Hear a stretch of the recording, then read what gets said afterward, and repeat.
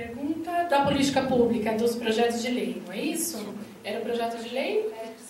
É, o projeto Real de São Paulo. E, na verdade, eu queria aproveitar... Tinha mais uma coisa aí. Que era sobre o projeto, na verdade, vetado aqui em São Paulo, mas eu queria ah, aproveitar... É. Peraí, só antes de você aproveitar, só, já que eu fui citado, isso aqui isso é um ah, debate presidencial. Debate, agora é debate. Mas é o seguinte, eu concordo inteiramente com você. Quando eu falei sobre os professores, é o professor sem preparo.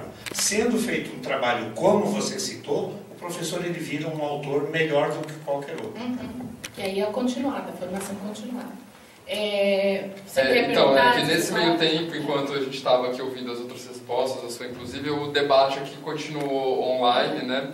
E tem dois, duas pessoas que estão acompanhando aqui pela internet que estavam discutindo sobre o Folhas, porque ele, colo, ele se denomina o material didático que foi gerado a partir sim, desse trabalho sim. dos professores, está como material didático público. Uh, ele não tem uma licença Creative Commons, só tem uma, uma, uma permissão de, de reprodução parcial, integral, desde que citado o autor. Então, é uma discussão sobre o quão livre seria essa, né, esse material aqui para tirar a dúvida deles, né?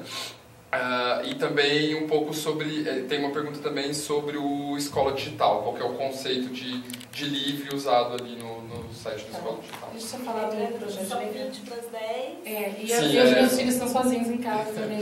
E só, só, só também para encerrar, porque é uma pergunta do Augusto sobre o Wikilivros, como o Wikilivros entra é, nesse contexto de produção de, de livros didáticos Deixa eu falar rapidinho então do projeto de lei. Situação do projeto de lei do Estado de São Paulo. Ele está lá na ordem do dia. Depois que ele foi vetado, a gente fez um movimento pela comunidade, é, fizemos alguns infográficos, voltamos na Assembleia, falamos com o líder do governo. Tem um outro deputado agora, porque o autor, o, Simão Pedro, está hoje como secretário de, de serviços aqui em São Paulo mas tem outras, outras pessoas ali articuladas tentando ver se isso vai ser votado. Mas eles sempre nos falam que nada vota, nada, nada, ninguém, nunca derrubaram, acho que um em não sei quantos anos derrubam um veto do, do governador. Mas a gente tem esperança ainda. Se renovar os quadros da Assembleia, a gente vai continuar lá.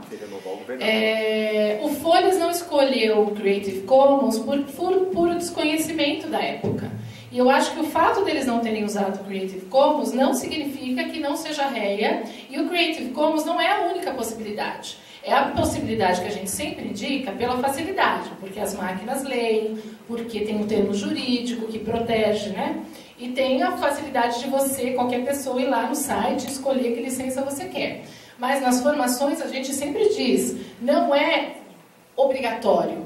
Eu discordo que é obrigatório. Acho que tem, se eu quiser colocar no meu blog, olha, você pode aqui usar os, os conteúdos que eu produzo, citando a fonte, desde que não seja para uso comercial, é legítimo. Única coisa é que ele não vai ser é, fácil, não vai ser fácil de encontrar por outra pessoa que estivesse buscando um, aquele tema daquele blog. Então, nesse ponto, o Creative Commons ajuda muito. É... Não sei se eu respondi a coisa da liberdade, Ona, porque como a gente trabalha muito com formação de professor, e essa história, não só o direito, mas é, é o estimular a, eles a refletirem na licença. É por isso que eu entendo todos os princípios, mas a, a, reflexão sobre que licença eu, como autora, vou escolher, eu acho que é importante. Mais do que a gente dizer que a melhor licença é a CC BY, ou a melhor é a CC BY Share Alike. E também não tem uma graduação, vou, vou, vou mudar.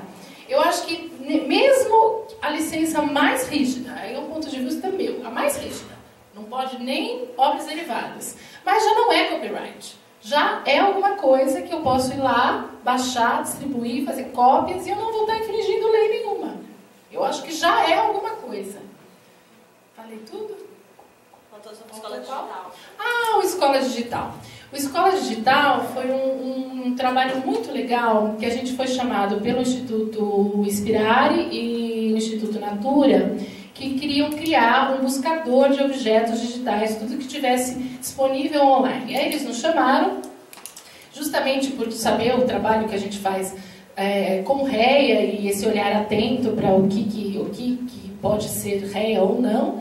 Só que a gente, para montar o Escola Digital, a gente criou um, um, um grupo é, colaborativo. Então, ah, é um, é um buscador para escola pública, para escolas em geral, a gente chamou professores da rede, professores da, da rede municipal, da rede estadual, chamamos designer, é, profissionais de comunicação e fizemos um dia de usando o design thinking, que é um processo colaborativo que a gente trabalha também, de estimular uh, para criar as categorizações que o Escola Digital teria.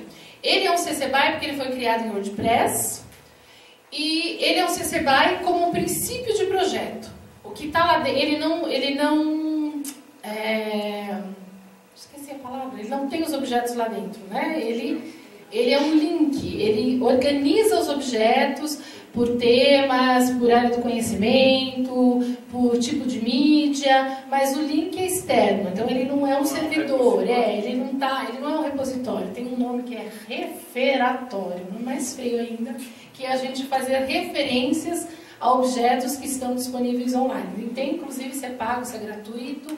Essa, essa categorização que a gente fez com o apoio de várias pessoas pensando junto.